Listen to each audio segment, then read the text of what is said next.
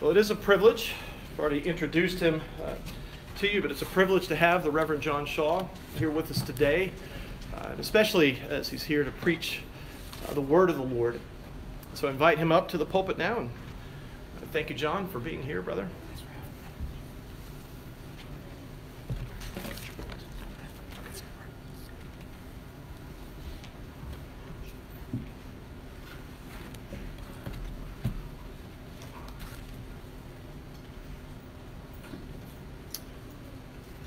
It's such a privilege to be with you this morning, to be able to worship with you, to sing together, to lift our voices in prayer together, to hear uh, from God's word together as well. I do want to uh, just greet you and thank you for uh, your support of the work of missions in the Orthodox Presbyterian Church, both uh, foreign missions and home missions. Thank you for uh, your giving, but especially thankful for your prayers. Uh, it's a good reminder that when we pray to God, we're doing something of significance. God actually hears and answers those prayers. And so, as the church prays for laborers, when we see new churches planted or new missionaries sent, those are answers uh, to prayers that we've lifted up to our God. So, thank you for that and for your participation in that work. Uh, we do have the privilege right now of turning to the, the Word of our God and hearing uh, His Word to us. I'd ask you to do that first of all I'm going to make a slight addition to what's in the bulletin. If you could turn, first of all, in the New Testament uh, to the book of Second Corinthians. Second Corinthians chapter 4. Just going to read a few verses here, verses 1 through 6. This is uh, Paul's reflections at one point in time uh, on his ministry and the gospel that he's called to proclaim and the glorious nature of what happens when the gospel is preached and by the Holy Spirit, veils are removed, and we see the glory of God uh, revealed in the person and work of Jesus Christ. Let's listen carefully. 2 Corinthians 4, verses 1 through 6, remembering that this is the very word of our God. Therefore, having this ministry, by the mercy of God, we do not lose heart, but we have renounced disgraceful, underhanded ways we refuse to practice cunning or to tamper with God's word, but by the open statement of the truth, we would commend ourselves to everyone's conscience in the sight of God. And even if our gospel is veiled, it is veiled only to those who are perishing.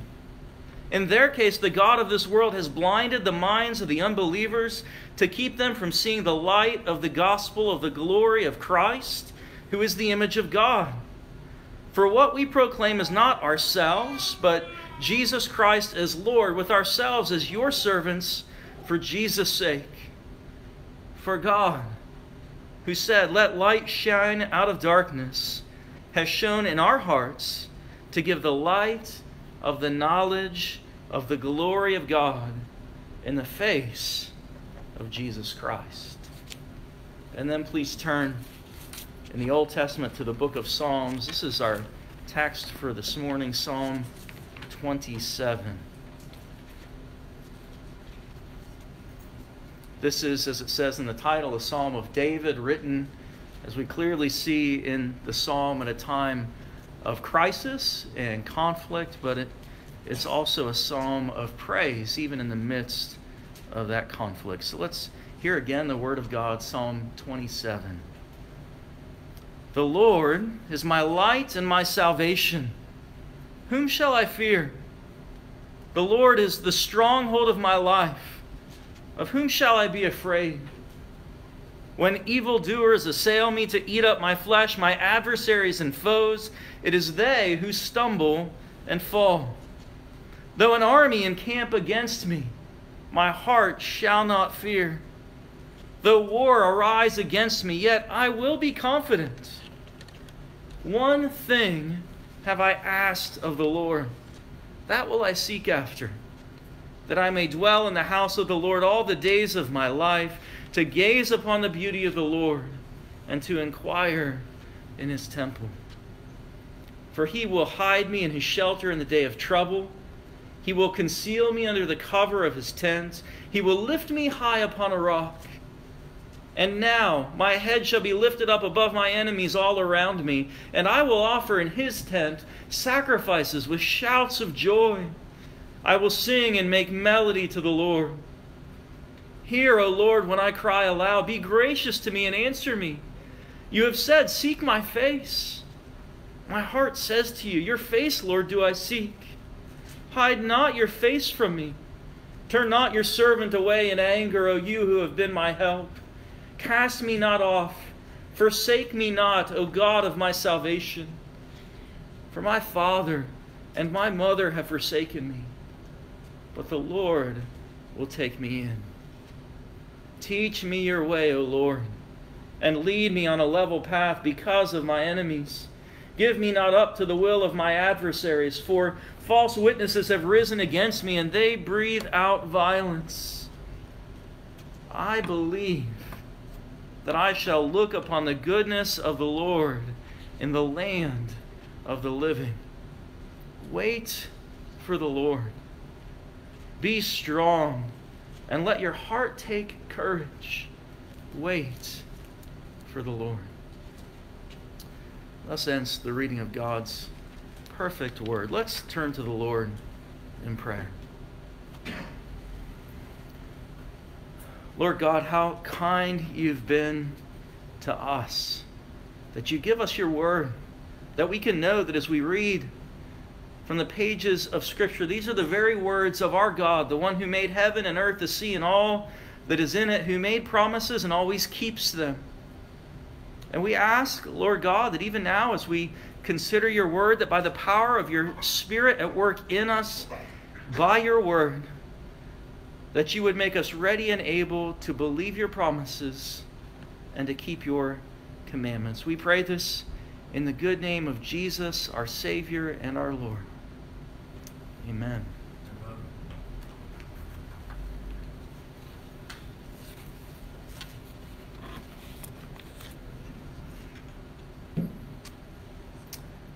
September 11th, 2001. That's a date most of us remember in some way, right? A significant moment in the history of our nation, a time of a darkness and despair in many ways. And one of the events I remember soon after, just a few days later, was a national day of prayer and a prayer service held in the National Cathedral in Washington, D.C. Reading of scripture, singing of of hymns and psalms, crying out to God in a time of distress that we would see his light. And one of the things I remember vividly from that service was the reading of this very psalm, Psalm 27, fitting, right, for the time in which we found ourselves, a time of darkness in which we're looking for the light of the salvation of our God. But what I remember specifically about the reading of that psalm was who read it. It was read by a, a Jewish rabbi. And I remember thinking as he's reading that first verse that I'm hearing something very different than what he's hearing.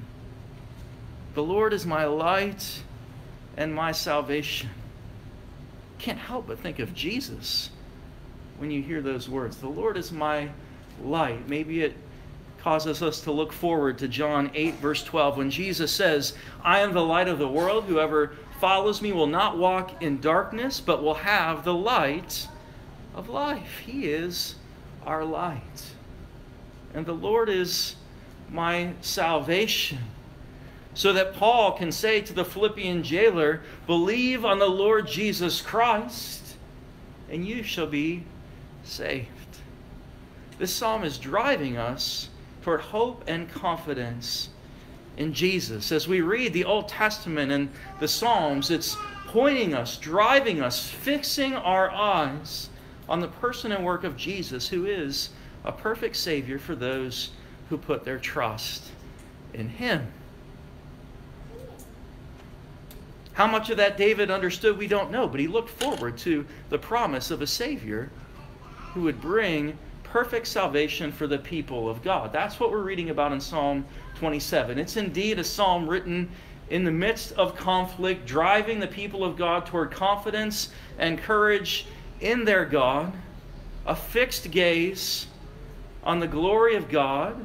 And I think we can understand it to be a fixed gaze on the glory of God, which is found in the beautiful face of Jesus Christ. That's what we'll consider this morning as we look at this psalm. We need to understand the context of the psalm, even the original context in which it was written. And we'll see that in three different ways it's a psalm of conflict, it's a psalm of confidence, and it's a psalm of courage. First of all, it's a psalm of conflict. We know, as we saw in the title, this is a psalm of David. It's written at a specific time in his life when he is in danger. He's on the run and his life is threatened. We see that again and again in the verses of this psalm. Look at verse 2. He says, When evildoers assail me to eat up my flesh, my adversaries and foes, they're seeking to destroy him. Verse 3, he says, Though an army encamp against me, my heart shall not fear. Though war arise against me, yet I will be confident. He goes on in verse 5 to talk about being hidden in the shelter of his God in the day of trouble, being concealed under the cover of his tent. Or verse 6 his head being lifted up above my enemies, enemies who have surrounded him on every side. And then you can almost hear the despair of verse 10. He's alone, forsaken. Even my father and my mother have forsaken me. And his adversaries are seeking to destroy him. Verse 12 False witnesses have risen against me and they breathe out violence. His life is literally on the line. That's the context in which he writes. It's a moment of conflict and threat, and potentially a moment that could lead to despair. That's the circumstance in which David writes. But of course, as we read the Psalms of David and as we read of the life of David, we're pointed not simply to David, but also pointed forward to that great son of David, our Lord and Savior, Jesus Christ. He's prefigured for us in this psalm. Can't you hear his experience? In verse 10, alone, forsaken, his brothers have left him behind. His disciples have scattered as he hangs on the cross. Only his mother and one disciple there. He's alone and forsaken. And you can hear his experience as well in verse 12. False witnesses, lies being spoken about him, breathing out violence, even hanging him there on the cross. It's a psalm of David, but it's a psalm as well of Jesus, our Savior. But it's also a psalm for us. It's a psalm for you. It's a psalm for Christians. We're promised many things by our Savior Jesus, but one of the things we're promised is suffering, opposition, and adversaries. Do you remember the words of Jesus to his disciples in John 15, verses 18 through 20? If the world hates you, Know that it has hated me before it hated you. If you were of the world, the world would love you as its own, but because you are not of the world, but I chose you out of the world, therefore the world hates you. He goes on to say, Remember the word that I said to you a servant is not greater than his master. If they persecuted me, they will also persecute you. This is part of the character of the Christian life. You remember how the Beatitudes, those blessings at the beginning of Matthew 5, end. Blessed are those who are persecuted for righteousness' sake, for theirs is the kingdom of heaven. The world in which we live is for the believer a place of conflict, sometimes of division, sometimes of strife. The Christian life is described by our Savior as taking up your cross daily and following in the footsteps of your Master we're told that sometimes the call of the gospel creates division in families between father and mother, brother and sister, that we're given a, a sword that sometimes divides and creates conflict. This is the character of the Christian life. And so, this psalm, a psalm of conflict, is a psalm for you and a psalm for me. You can even hear the battle with sin, I think, as we read the words of verse 2 When evildoers assail me to eat up my flesh, my adversaries and foes, it is they who stumble and fall. Can't you hear the echo of the assault of sin, the decay of death that's even at work in us at this very moment? The devil who seeks to devour us. And so, this psalm of conflict is a psalm for the Christian today that points us to our Savior who suffered and died in our place and who is a perfect, empathetic, sympathetic high priest who's with us in our suffering. It's a psalm of conflict, but it's also, in the midst of conflict, a psalm of confidence. And we see that right away in verse 1. We have images here of confidence for the believer. The Lord is my light and my salvation. The Lord is the stronghold of my life. He's light in a dark place. He's salvation for those who are lost. He's a stronghold for those who are threatened. But notice as well that these aren't simply abstract images. They're made personal for us, even in how they're expressed in verse 1. It doesn't say the Lord is light, it says the Lord is my light. The Lord is my salvation. He's the stronghold of my life. This is a personal God who loves his people, who knows them by name and knows their suffering more than they know it themselves. He's a personal Savior for sinners. So that so that David can ask these questions Whom shall I fear? Of whom shall I be afraid? And he can assume the answer. No one and nothing should cause fear for the people of God. He even points us both backwards and forwards and giving us confidence in the midst of conflict. Verse 2 seems to be pointing to past events when he's seen the Lord bring deliverance. When evildoers assailed me or assailed me to eat up my flesh, when adversaries and foes surrounded me, I saw them stumble and fall. Their plot brought to an end. But he also looks forward in verse 3 Though an army encamp against me, my heart shall not fear. Though war arise against me, I will be confident. He's proven himself to be faithful. I know he will be faithful to me again and again because he's a perfect Savior. Matthew Henry, in writing about verse 3, describes it in this way that David is triumphing before the victory. He knows God will save him again and again. And he goes on to say that David is simply expressing faith described in Hebrews as the confidence of things hoped for, the conviction of things not yet seen. We have confidence in our God. But David gives us one more image that should provide for us confidence in our faithful God. And it's what we find in verses 4 through 6, repeated in a variety of ways. He points us to the place where he finds confidence the tent and the tabernacle of his God. He says in verse 4 One thing have I asked of the Lord, that will I seek after, that I may dwell in the house of the Lord all the days of my life, that I might gaze upon the beauty of the Lord and inquire in his temple, the meeting place where God dwells in, among, and with his people. He goes on in verse 5 to say, He will hide me in his shelter. He will conceal me under the cover of his tent or of his tabernacle. He'll lift up my head, verse 6, and I will offer in his tent, his tabernacle, sacrifices with shouts of praise. David is reminded again and again, even though in the eyes of the world it seems like all hope is gone, he's reminded that God is faithful and that God remains with his people always and to the end of the age.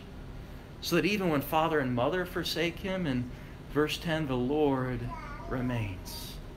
The Lord is faithful. So it's a psalm of conflict, it's a psalm of confidence, but it's also a psalm of courage. And we see that in the last two verses. Verse 13, David says, I believe that I shall look upon the goodness of the Lord in the land of the living.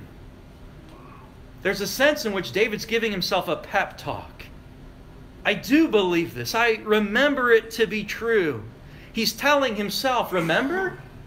God is faithful. I believe that he will fulfill his promises. Maybe you've heard this cheer. I'm not sure it's as prevalent as it was a few years ago, but especially at soccer games and football games, uh, this cheer where at the beginning of the game the fans chant to each other, I believe.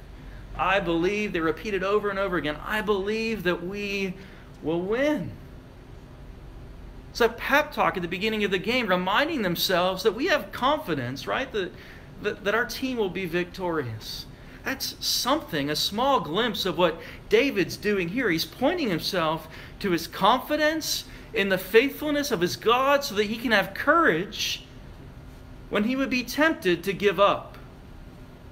I believe. And notice notice that he even finds confidence in the promise of a resurrection. I think that's what's happening in verse 13. I believe that I shall look upon the goodness of the Lord in the land of the living. Even as he brings me through death, so that I can look upon the face of my God. So that even if this suffering should bring me to death, there is hope, confidence, and courage in the resurrection power of his God. I believe that God is faithful even to the end. And then it leads to this beautiful expression of courage at uh, the end of the psalm in verse 14. I think in the midst of conflict surrounded by his enemies, there's probably not a clearer expression of courage than what David says and does in verse 14. He says, Wait for the Lord. He patiently, quietly waits for the Lord to prove himself to be faithful. Wait for the Lord. Be strong and let your heart take courage. Wait for the Lord. We even have just glimpses, even in how he he, he, he names God. In verse 1 and verse 14, brackets and bookends in this psalm. In the middle of the psalm, he calls God in different ways uh, God and Lord, but he begins and ends with a double expression of this name and title for God, the Lord, in all capital letters, the God of Abraham, Isaac, and Jacob, who proves again and again that when he makes promises, he always keeps them. Wait for the Lord. Be strong and let your heart take courage. Wait for the Lord. So, this is a psalm of confidence and courage in the midst of conflict, but it leaves us, I think, with a question. And it's simply this How is that possible? To have courage and confidence in the midst of great persecution. And I think we find the answer at what I believe to be the, the center of this psalm in verse 4. Let's look there. Verse 4 of Psalm 27. He says, One thing have I asked of the Lord. And we'll talk about that one thing in a second. But notice, first of all, just this expression, one thing. He has a focused perspective, a fixed gaze, one simple priority. And really, there's nothing else in second place. One thing that fixes his attention so that when the world is at war all around him, he can fix his gaze in that one place. One thing have I asked of the Lord, and that will I seek after that I may dwell in the house of the Lord all the days of my life, to gaze upon the beauty of the Lord and to inquire in his temple. What a beautiful expression of faith in God. I think it's one of these uh, beautiful images, one of the most beautiful images in Scripture of a fixed gaze on God. But it's especially beautiful when you remember the context that we've already discussed. Enemies and adversaries surrounding him his friends and family have forsaken him. His life is literally on the line. This isn't a, a restful Lord's Day afternoon when everything is peaceful and quiet. The world is raging all around him. And David is able to stop and fix his gaze on one place. Now, I can imagine what my one thing might be if I find my, found myself in David's shoes. Deliverance, right? Victory against his enemies, salvation from a difficult place, protection of his life, maybe a return to his own house from which he's been chased so that he can worship in the house of his God, maybe restoration of relationships with his family all of those things are certainly on his mind. But there's one thing and one thing alone that drives him. We all have our if onlys, don't we? Our conditions. If only, Lord, you would provide for me a better job, more financial security, a better family relationship, a better relationship with my spouse, a peaceful home, healthy marriage if only, Lord, you would give me those things, then I could fix my gaze upon you. We get it all twisted around. But David's one thing, the thing that drives him, his chief end, his last end, the center of his very existence, is fellowship with God. And notice that it's not the gifts that God gives, it's God Himself that calls for David's fixed gaze to be able to dwell in the house of the Lord forever, to fix his gaze on his Savior, to look upon the beautiful face of his God, to meditate on the glories and the majesty of his God.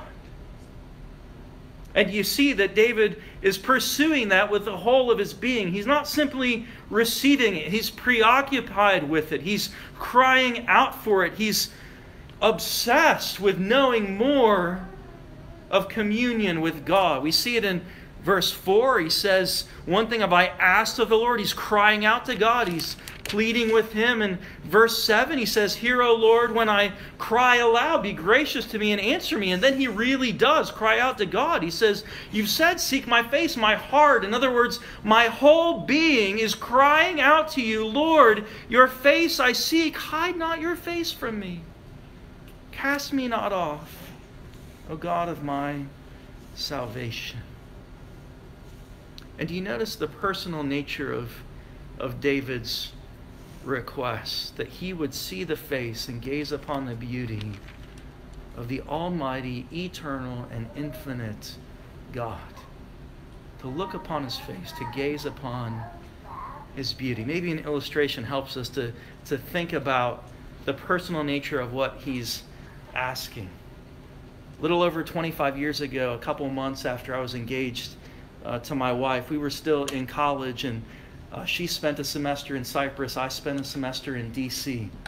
And so for three months, we couldn't see each other. This, of course, some of you know this. Some of you might be surprised by this. This is before we had cell phones, before we had FaceTime, before we had Zoom. I had a calling card that was really expensive, and so we talked on the phone five to ten minutes a week and we wrote letters by hand. And I can remember when those letters would arrive. I'm in a in a, house with 25 other college students. That that letter came, I stopped what I was doing. I went to my room. I shut the door. I opened the letter, and I read it three or four times. I love those letters. But I also remember as I read those letters thinking this as much as I love these letters, what I really want to do, I want to look on her face. I want to see her. That's what David is crying out to his God, who he has not yet seen, but who he knows and who he loves. He's crying out to God and saying, I want to see your face, to gaze upon your beauty, and to know your glory and your majesty in deep, intimate, personal ways. And that is a good desire. And it's what God desires for us. And I think we can say as well that it's a very much a New Testament desire for believers to gaze upon the beauty of the Lord. If you would just briefly turn back to 2 Corinthians 4. I think this is at the very heart of the gospel, this desire to see the glory of God and to look on his face. So remember, 2 Corinthians 4 begins by describing what it means to be an unbeliever, to have that veil in front of your face where you can't see or know or understand God. And the ministry of the gospel is to have the gospel proclaimed, the Holy Spirit at work so that that veil is removed. That's what's being described for us here. And if you look there in 2 Corinthians 4, verse 4, it says this In their case, the the God of this world has blinded the minds of the unbelievers to keep them from seeing the light of the gospel of the glory of Christ, who is the image of God. For what we proclaim is not ourselves, but Jesus Christ as Lord, with ourselves as your servants for Jesus' sake. And then listen to this image of what it means to turn to God by the power of the gospel. He says, For God, the same God who said, Let light shine out of darkness. And what happened? There was light that same God, by that same powerful voice, has shone in our hearts to give the light of the knowledge of the glory of God in the face of Jesus Christ. Is that your desire? And maybe even more difficult to answer do you believe it's even possible? I'm here to tell you it is that by the power of the gospel and by the power of the crucified and risen Savior, you can know the beauty of God as you see it displayed in the person, work, and face of Jesus. If you would simply put your trust in Him. And as we close this morning, we even see in this psalm several tools that God in His mercy gives us so that we can look on the beauty of God in the face of Jesus. And we'll consider them just briefly. First of all, he tells us that we can see the glory of God in the face of Jesus by what we're doing right now, right here in this place worship, and in particular, corporate worship with the people of God. Don't we see that all over this psalm, especially in the images of tabernacle and temple. One thing, verse 4 Have I asked of the Lord, that will I seek after, that I may dwell in the house of the Lord all the days of my life, to gaze upon the beauty of the Lord, and to inquire, to meditate in his temple, which is now the church of Jesus Christ, the house of the living God. Goes on to say in verse 6 that his head would be lifted up above his enemies, and he would offer in his tent, in his tabernacle, sacrifices with shouts of joy. I know some of you, even this morning, are asking the question Has God removed his face from me? Why does it feel as if God is so far from me? And one of the ways that he draws near to you is in worship, even this morning, as the word is preached, as the people of God lift their voices in praise and in prayer. God shows his face in his Son. So he gives us worship, but he also gives us his word. That image in verse 4 of inquiring in his temple, gazing upon the beauty of the Lord, it's not that he's telling us someday in the far off, distant future we'll be able to look on the glories of our God and Savior. He's telling us right now as you inquire in his temple, and in particular, I think, is implied as you read and study the Word of God where Jesus is proclaimed to you you can see the glory of God in the crucified and risen Savior. I think we see that especially clearly in verse 11 when he says, Teach me your way, O Lord, and lead me on a level path. This is imagery we find all over the book of Psalms, especially in a place like Psalm 119. How do we know and follow the path of God? We do it as we read and study and meditate on His Word, as He reveals Himself to us in the Scriptures. So He gives us worship, He gives us his word, and he gives us as well prayer. Isn't that what we see David doing in verses 7 and 8 as he feels as if there's a distance, as he's been separated from his God? He cries out, he cries aloud, he pleads with his God. Show your face to me. Should you find yourself now or at some other time in a a difficult circumstance where you wonder, has God removed his presence from me? Brothers and sisters, know that you can cry out to God in prayer and plead His promises back to Him, just as David does here. He longs to show you His face. And if you cry out to God, I promise you that because God is faithful, He will answer that prayer. Cry out to Him and seek His face. Lastly, we see not so much a tool, but a gift that God gives us as the psalm comes to a conclusion in verse 13 and 14. Again, it says there, I believe that I shall look upon the goodness of the Lord in the land of the living. If you have an English Standard Version, you might have a note at the bottom where it gives another translation. I think it's helpful, where it says something like this Had I not believed, and then the sentence doesn't finish.